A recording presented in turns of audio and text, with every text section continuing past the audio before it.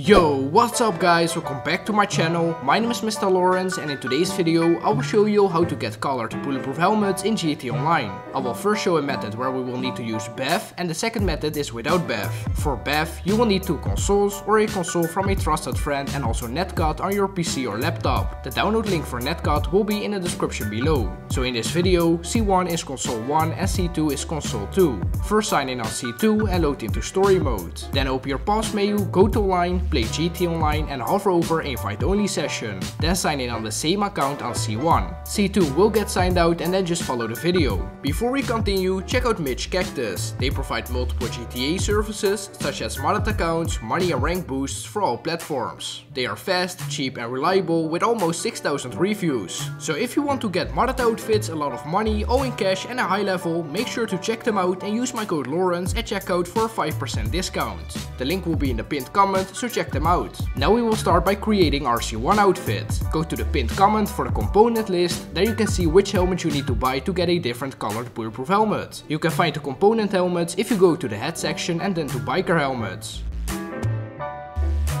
I will select the Feathers Dome helmet to get a blue bulletproof helmet. Save this outfit in any slot as C1. Then you will need to save an outfit with any colored bulletproof helmet, name it C2. Please note that you cannot use a standard bulletproof helmet. Now equip the C1 outfit and also equip a pair of glasses.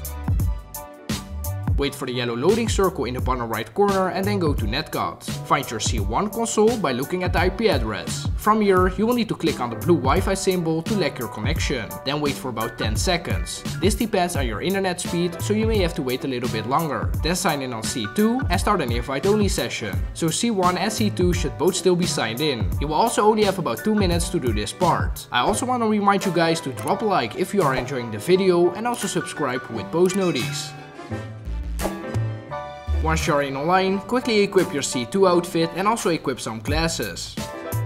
Wait for the yellow save icon and go back to story mode. Now go back to C1 and have NetCut ready. Remove your glasses, then close your interaction menu and click on the red Wi-Fi symbol to reconnect your connection. You will now get a signed out alert on C1. Accept all the alerts and wait till you are in story mode.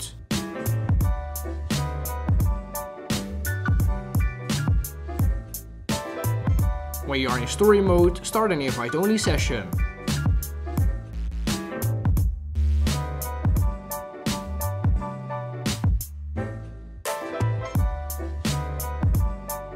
When you are back in online, you should have the colored bulletproof helmet that you wanted. Now I will show you the second method. First you will need a car outside the clothing store and then go to the head section.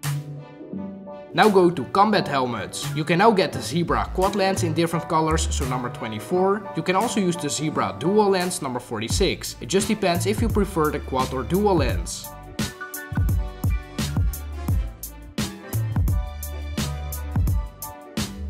Then save one of those helmets in any slot. There will be a component list in the pinned comment, so if I want a pink combat helmet, I will go to the helmets and purchase the wide open face helmet. Now back out and equip the outfit that you saved with the helmet. Make sure bike helmet is set on your component helmet, so for me it's the wide open face helmet. Auto show bike helmet has to be set to on. And from here, register as a CEO, VIP or MC, then get in your car. Now go to management, style, then switch your outfit once to the right and back. Now get out the car and hold right on the D-pad to put your visor up or down and the color of the helmet should now change.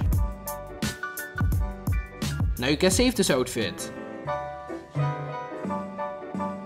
We can do the same thing with the Riot helmets. First go to the Riot helmets and equip number 22, the LSPD Riot helmet.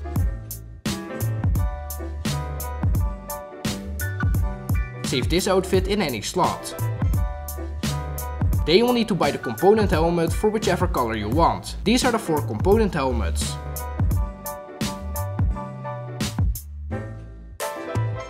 Now make sure your bike helmet is set on your component helmet, equip the riot helmet outfit and get in a car.